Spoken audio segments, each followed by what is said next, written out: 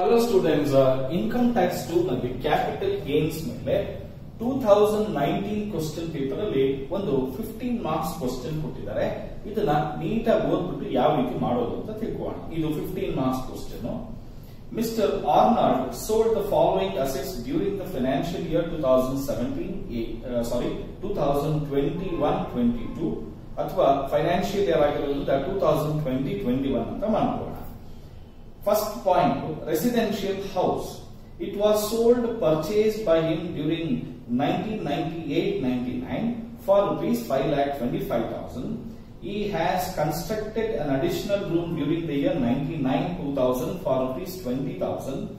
For the first during the first floor and first floor during 2008-9 for rupees 3 lakh 80,000.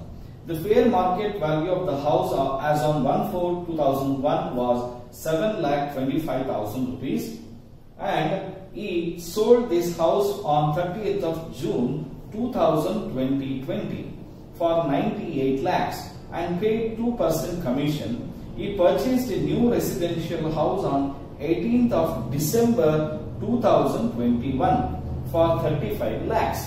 So ಇದು ನಮಗಿರ್ತಕ್ಕಂಥ question ಈ ಕ್ವಶನ್ನ ಯಾವ ರೀತಿ solve ಮಾಡೋದು ಅಂತ ನೋಡೋಣ. ಓಕೆನಾ ಇನ್ನು ಮೂರು ಪಾಯಿಂಟ್ ಇದೆ. ಒಂದೊಂದೇ ಪಾಯಿಂಟ್ ಓದೋಣ ಆಮೇಲಿಂದ ಸಾಲ್ವ್ ಮಾಡೋಣ. ಈಗ ಫಸ್ಟ್ ಏನ್ ಹೇಳ್ತಾ ಇದ್ದಾನೆ ಅಂದ್ರೆ ಮೊದಲನೇದು sale of residential house property ಎಷ್ಟಕ್ಕೆ ಮಾರಿದಾನಂತೆ ಅಂದ್ರೆ ನೈಂಟಿ ಏಟ್ ಲ್ಯಾಕ್ ರುಪೀಸ್ಗೆ ಮಾರಿದಾನೆ. ನೈಂಟಿ ಏಟ್ ಲ್ಯಾಕ್ಸ್ಗೆ ಈ ನೈಂಟಿ ಏಟ್ ಲ್ಯಾಕ್ಸ್ಗೆ ಮಾರಿ, ಮಾರೋದ್ರಿಂದ ಅವನು ಬ್ರೋಕರೇಜ್ ಎಷ್ಟು ಕೊಡ್ತಾ ಇದ್ದಾನೆ ಅಂದ್ರೆ ಟೂ ಪರ್ಸೆಂಟ್ ಕೊಡ್ತಾ ಇದ್ದಾನಂತೆ ಸೊ ಟೂ ಪರ್ಸೆಂಟ್ ಬ್ರೋಕರೇಜ್ ಯಾವ ಅಮೌಂಟ್ ಮೇಲೆ ಕ್ಯಾಲ್ಕುಲೇಟ್ ಮಾಡಬೇಕು ಅಂದ್ರೆ ಸೇಲ್ ಪ್ರೈಸ್ ಮೇಲೆ ಕ್ಯಾಲ್ಕುಲೇಟ್ ಮಾಡಬೇಕು. ಟೂ ಪರ್ಸೆಂಟ್ ಎಷ್ಟು ಬರುತ್ತೆ ಅಂದ್ರೆ one lakh ninety six thousand rupees ಬರುತ್ತೆ. One lakh ninety six minus ಮಾಡಿದ್ರೆ ನಮಗೆ ಸೆವೆನ್ ಅಲ್ಲಿ ಒನ್ ಅಂದ್ರೆ six and nine ninety six lakh four thousand rupees ಬರ್ತಾ ಇದೆ. ಇದನ್ನ ನಾನು ಏನಂತ ಕರಿತೀನಿ? ನೆಟ್ ಸೇಲ್ ಪ್ರೈಸ್ ಅಂತ ಕರಿತೀನಿ. ಈ ನೆಟ್ ಸೇಲ್ ಪ್ರೈಸ್ಗೆ ಇಂಡೆಕ್ಸ್ಡ್ ಕಾಸ್ಟ್ ಆಫ್ ಅಕ್ವಿಸಿಷನ್ ಅನ್ನ ಮೈನಸ್ ಮಾಡಬೇಕು. Indexed cost of acquisition C ಇದನ್ನ ತುಂಬಾ ಸಿಂಪಲ್ ಆಗಿ ಹೇಳ್ತೀನಿ. ಇವನು nineteen ninety eight ninety nine five lakh twenty five thousand ರುಪೀಸ್ಗೆ ಮಾರಿದ. ಈ ಡೇಟ್ ಅಲ್ಲಿ ನಮಗೆ ಕಾಸ್ಟ್ ಆಫ್ ಇನ್ಫ್ಲೇಷನ್ ಇಂಡೆಕ್ಸ್ ಇಲ್ಲ. ಅದಕ್ಕೋಸ್ಕರ ಅವನು one four two thousand one ಅಲ್ಲಿ ಓಕೆನಾ ನಮಗೆ fair market value seven lakh twenty five thousand rupees ಕೊಟ್ಟಿದ್ದಾರೆ. ಇವೆರಡರಲ್ಲಿ ಯಾವುದು ಜಾಸ್ತಿ ಬರುತ್ತೆ ಅದನ್ನೇ ನಾವು ತಗೊಳ್ಬೇಕಾಗುತ್ತೆ. ಸೊ ದೇ ಫೋರ್ ನಾವು ಏನ್ ಮಾಡ್ತೀವಿ? Seven lakh twenty five thousand rupees fair market value ಜಾಸ್ತಿ ಇದೆ. Divided by hundred into three not one ನಮ್ಮ ಪ್ರೀವಿಯಸ್ ಇಯರ್ ಅಲ್ಲಿ ಸೇಲ್ ಮಾಡ್ತಾ ಇದ್ವಿ. ಎಷ್ಟು ಬರುತ್ತಪ್ಪ ಅಂದ್ರೆ eighty one lakh eighty two thousand two hundred and fifty ಎಷ್ಟು? Twenty one lakh twenty one lakh eighty two thousand seven hundred fifty rupees ಬರ್ತಾ ಇದೆ. ಇದು ಇಂಡೆಕ್ಸ್ಡ್ ಕಾಸ್ಟ್ ಆಫ್ ಅಕ್ವಿಸಿಷನ್ಗೆ ಬಂದಿದೆ. ಅದೇ ತರ ಈ ಮನೇನ ಇವನು ಇಂಪ್ರೂವ್ಮೆಂಟ್ ಬೇರೆ ಮಾಡಿದಾನೆ. ಯಾವ ಇಯರ್ ಅಲ್ಲಿ ಮಾಡಿದಾನೆ ಅಂದ್ರೆ ನೈನ್ಟಿ ನೈನ್ ಟೂ ತೌಸಂಡ್ ಅಲ್ಲಿ ಒಂದು ಇಂಪ್ರೂವ್ಮೆಂಟ್ ಮಾಡಿದ್ದಾನೆ ಹಾಗೆ ಟೂ ತೌಸಂಡ್ ಏಟ್ ನೈನ್ ಅಲ್ಲೂ ಕೂಡ ಇಂಪ್ರೂವ್ಮೆಂಟ್ ಮಾಡಿದ್ದಾನೆ ನೋಡಿ, ಯಾವುದೇ improvement before two thousand one ಅಲ್ಲಿ ಮಾಡಿದ್ರೆ ಆ ಇಂಪ್ರೂವ್ಮೆಂಟ್ ಅಮೌಂಟ್ ಅನ್ನ ಯಾವುದೇ ಕಾರಣಕ್ಕೂ ಕ್ಯಾಲ್ಕುಲೇಷನ್ ಅಲ್ಲಿ ತಗೊಳಕ್ ಹೋಗ್ಬೇಡಿ. ಆದ್ರೆ ಯಾವುದೇ improvement one four two thousand one ಆದ್ಮೇಲಿಂದ ಏನಾದ್ರೂ ಇಂಪ್ರೂವ್ಮೆಂಟ್ ಮಾಡಿದ್ರೆ ನಾವು ಅದನ್ನ ತಗೊಳ್ಬೇಕಾಗುತ್ತೆ. ಇಲ್ಲಿ three lakh eighty thousand rupees ಕೊಟ್ಟು ಇಂಪ್ರೂವ್ಮೆಂಟ್ ಮಾಡಿದ್ದಾನೆ. ಯಾವ ಇಯರ್ ಅಲ್ಲಿ? ಟೂ ತೌಸಂಡ್ ಏಟ್ ನೈನ್ ಅಲ್ಲಿ. ಸೊ ದೇರ್ ಫೋರ್ ನಾವು ಇದಕ್ಕೆ ಏನ್ ತಗೊಳ್ಬೇಕು? ಇಂಡೆಕ್ಸ್ ಕಾಸ್ಟ್ ಆಫ್ ಇಂಪ್ರೂವ್ಮೆಂಟ್ ಅನ್ನ ತಗೊಳ್ಬೇಕಾಗುತ್ತೆ. Indexed cost of improvement. ನೋಡಿ three lakh eighty thousand rupees improvement ಮಾಡಿದ್ದಾನೆ. ಇದು ಟೂ ತೌಸಂಡ್ ಏಟ್ ನೈನ್ ಅಲ್ಲಿ ಮಾಡಿರೋದ್ರಿಂದ two thousand eight nine one thirty seven CI ಇದೆ. ಮಾರಿರೋದು ತ್ರೀ ನಾಟ್ ಒನ್ ಅಂದ್ರೆ two thousand twenty twenty one ಅಲ್ಲಿ eight lakh thirty four thousand eight ninety one rupees ಬರ್ತಾ ಇದೆ ಸೊ ಇಷ್ಟು ಏನಾಗಿದೆ ಅಂತ ಹೇಳಿದ್ರೆ ಇಂಡೆಕ್ಸ್ ಕಾಸ್ಟ್ ಆಫ್ ಇಂಪ್ರೂವ್ಮೆಂಟ್ ಆಗಿದೆ. ಸೊ ಒಟ್ಟು ಎಷ್ಟು ಅಮೌಂಟ್ ಆಯ್ತು ಅಂತ ಹೇಳಿದ್ರೆ thirty lakh one four sixteen seven one so thirty lakh seventeen thousand six one forty one rupees one forty one ಇದು ಒನ್ ಫಿಫ್ಟಿ ಓಕೆನಾ ಸೊ ಒನ್ ಫಿಫ್ಟಿನ ಟೂ ಫಿಫ್ಟಿನ ಟೂ ಫಿಫ್ಟಿ ಓಕೆನಾ ಟೂ ಫಿಫ್ಟಿ ಆಗ ಇದು one fifty one forty one rupees ಬರ್ತಾ ಇದೆ. So ಹಾಗಾದ್ರೆ ಇನ್ನು ಎಷ್ಟು ಅಮೌಂಟ್ ಟ್ಯಾಕ್ಸ್ ಆಗುತ್ತೆ ಅಂದ್ರೆ ಸಿಕ್ಸ್ಟಿ ಫೈವ್ ಲ್ಯಾಕ್ಸ್ ಓಕೆನಾ eighty six thousand eighty six thousand eight fifty nine rupees eight fifty nine rupees ಇದನ್ನ ನಾವು ಏನಂತ ಹೇಳೋಣ? Taxable long term capital gain number one ಅಂತ ಹೇಳೋಣ ಓಕೆನಾ ಅಲ್ಲಿಗೆ ನಮ್ಗೆ first long term capital gain ಸಿಕ್ತು. ಈಗ ಎರಡನೇ ಪಾಯಿಂಟ್ ನೋಡೋಣ. ಎರಡನೇ ಪಾಯಿಂಟ್ ಏನಿದೆಯಪ್ಪ ಅಂದ್ರೆ debentures of A company limited it was purchase by him ಓ, ಇನ್ನೂ ಒಂದು ಮನೆ ಪರ್ಚೇಸ್ ಮಾಡಿದ್ದಾನೆ. ಇದ್ರದ್ದು ಇನ್ನೂ ಇದೆ. ಒಂದು ನಿಮಿಷಕ್ಕೆ ಇದನ್ನ ಇದನ್ನ ಏನ್ ಮಾಡೋಣ ಅಂದ್ರೆ ಎಕ್ಸಂಪ್ಷನ್ ಬೇರೆ ಇದೆ ಓಕೆನಾ ಇದಕ್ಕೆ ಎಕ್ಸೆಂಪ್ಷನ್ ಕೊಡೋಣ. ಎಷ್ಟು ಎಕ್ಸೆಂಪ್ಷನ್ ಕೊಡೋಣ ಅಂದ್ರೆ, ಯಾವ ಸೆಕ್ಷನ್ ಅಲ್ಲಿ ಕೊಡೋಣ ಅಂದ್ರೆ under section fifty four B ನಲ್ಲಿ. ನೋಡಿ, ಅವನು ಹಳೆ ಮನೆಯನ್ನ ಮಾರಿ ಇನ್ನೊಂದು ಮನೆಯ ಪರ್ಚೇಸ್ ಮಾಡ್ತಾ ಇದ್ದಾನೆ December two thousand twenty one ಅಲ್ಲಿ ನೋಡಿ ಸೇಲ್ ಮಾಡಿರೋ ಡೇಟ್ ಇಂದ ವಿತ್ ಇನ್ ಟೂ ಇಯರ್ಸ್ ಅಲ್ಲಿ ಪರ್ಚೇಸ್ ಮಾಡ್ತಾ ಇರೋದ್ರಿಂದ, ಅವನಿಗೆ cost of new residential house property ಎಷ್ಟಪ್ಪ ಇದೆ? ಥರ್ಟಿ ಫೈವ್ ಲ್ಯಾಕ್ ರುಪೀಸ್ ಇದೆ ಓಕೆನಾ ಇದು ಲಾಂಗ್ ಟರ್ಮ್ ಕ್ಯಾಪಿಟಲ್ ಗೇನ್ ಓಕೆನಾ ಇದನ್ನ ಯಾವ್ದು ಕಂಪೇರ್ ಮಾಡೋಣ? ಲಾಂಗ್ ಟರ್ಮ್ ಕ್ಯಾಪಿಟಲ್ ಗೇನ್ಗೆ ಕಂಪೇರ್ ಮಾಡಿದ್ರೆ sixty five lakh eighty six thousand eight fifty nine ಇವೆರಡರಲ್ಲಿ ಯಾವ್ದು ಕಡಿಮೆ ಇದೆ, ಅದು ಡಿಡಕ್ಷನ್ ಬರುತ್ತೆ. ಯಾವ್ದು ಕಡಿಮೆ ಇದೆ?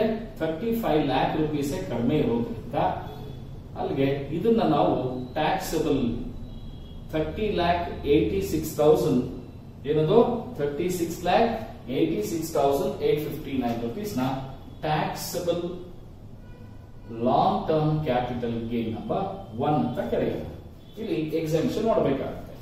ಎರಡನೇ ಪಾಯಿಂಟ್ ಏನ್ ಹೇಳ್ತಾ ಇದ್ದಾರೆ ಅಂದ್ರೆ debentures of A company it was purchase by during two thousand fourteen fifteen for rupees five lakhs and sold on thirty of June two thousand twenty for rupees five lakh seventy five thousand ಅಂತ ಹೇಳ್ತಾರೆ. ಒಂದು ಡಿಬೆಂಚರ್ಸ್ನ purchase ಮಾಡಿದ್ದಾನೆ fourteen fifteen ಅಲ್ಲಿ ನೋಡಿ date very important fourteen fifteen ಅಲ್ಲಿ sale ಮಾಡಿರೋದು two thousand twenty twenty ನಲ್ಲಿ fourteen fifteen fifteen sixteen sixteen seventeen more than one year ಆಯಿತು. Any securities sold from the date of purchase the date of sale more than one year holding period ಇದ್ರೆ ಅದು long term ಆಗುತ್ತೆ. So there four second one ಅನ್ನ sale of debentures of A company limited ಎಷ್ಟಕ್ಕೆ sale ಮಾಡಿದಾನೆ ಅಂತ ಅಂದ್ರೆ five lakh seventy five thousand ರುಪೀಸ್ಗೆ sale ಮಾಡಿದ್ದಾನೆ. ಇಲ್ಲಿ ಯಾವುದೇ ಎಕ್ಸ್ಪೆನ್ಸಸ್ ಏನು ಕೊಟ್ಟಿಲ್ಲ. ಸೊ ಅದಕ್ಕೋಸ್ಕರ ಡೈರೆಕ್ಟ್ ಆಗಿ indexed cost of acquisition long term ಅಲ್ವಾ? ಲಾಂಗ್ ಟರ್ಮ್ ಆಗಿದ್ರೆ ಯಾವಾಗಲೂ ಏನ್ ಮಾಡಬೇಕಾಗುತ್ತೆ? ಇಂಡೆಕ್ಸ್ ಅನ್ನ ಅಪ್ಲೈ ಮಾಡಬೇಕಾಗುತ್ತೆ. ನೋಡಿ ಪರ್ಚೇಸ್ ಮಾಡಿರೋದು ಫೈವ್ ಲ್ಯಾಕ್ ರುಪೀಸ್ಗೆ ಯಾವತ್ ಪರ್ಚೇಸ್ ಮಾಡಿರೋದು? ಫೋರ್ಟೀನ್ ಫಿಫ್ಟೀನ್ ಅಲ್ಲಿ. ಫೋರ್ಟೀನ್ ಫಿಫ್ಟೀನ್ ಅಲ್ಲಿ ನಮಗೆ ಇಂಡೆಕ್ಸ್ ಟೂ ಹಂಡ್ರೆಡ್ ಫಾರ್ಟಿ ಇದೆ. ಇಂಟು ತ್ರೀ ಫಾರ್ಟಿ ಒನ್ ಮಾಡಿದ್ರೆ ನಮಗೆ ಟೋಟಲ್ ಎಷ್ಟು ಬರುತ್ತಪ್ಪ ಅಂದ್ರೆ six lakh twenty seven thousand twenty three rupees ಬರುತ್ತೆ. ಸೊ ಟ್ವೆಂಟಿ ತ್ರೀ ಅಲ್ಲ ಏಯ್ಟಿ ತ್ರೀ ರುಪೀಸ್ ಬರುತ್ತೆ ಓಕೆನಾ ನೋಡಿ, ನಮಗೆ ಲಾಸ್ ಬರ್ತಾ ಇದೆ. ಕರೆಕ್ಟ್ ಇಲ್ಲ ಸಿ ಸೇಲ್ ಮಾಡಿರೋದು ಫೈವ್ ಲ್ಯಾಕ್ ಸೆವೆಂಟಿ ಫೈವ್ ತೌಸಂಡ್ಗೆ ಬಟ್ ಅದರ index six lakh twenty seven thousand eighty three ಇದೆ. ಸೊ ಲಾಸ್ ಬರ್ತಾ ಇದೆ. ಎಷ್ಟು ಅಮೌಂಟ್ ಲಾಸ್ ಬರ್ತಾ ಇದೆ ಅಂದ್ರೆ fifty two thousand eighty three rupees ಅಷ್ಟು ಲಾಸ್ ಬರ್ತಾ ಇದೆ. ಸೊ ಈ ಲಾಸ್ ಅನ್ನ ನಾವು ಏನಂತ ಕರೀಬಹುದು long term capital gain number two ಅಂತ ಕರೆಯೋಣ. ಓಕೆನಾ long term capital gain number two next third was purchase by him on thirtieth of September two thousand seventeen for forty eight thousand sold on sixteenth of December two thousand twenty twenty ಅಂತ ಹೇಳ್ತಾರೆ. ನೋಡಿ, ಏನೇ ಆಗಿರಲಿ, ಇದು personal mobile phone sale ಮಾಡಬಹುದು personal mobile phone sale ಮಾಡಿದ್ರೆ ಅದು capital ಅಸೆಟ್ಟೇ ಅಲ್ಲ. ಸೊ ಅದಕ್ಕೋಸ್ಕರ personal mobile phone personal mobile phone not a capital asset ಅಂತ ಬರೆಯೋಣ. ನಾಟ್ ಕ್ಯಾಪಿಟಲ್ ಅಸೆಟ್ ಓಕೆನಾ ಅಲ್ಲಿಗೆ ಮೂರನೇ ಪಾಯಿಂಟ್ ಮುಗೀತು.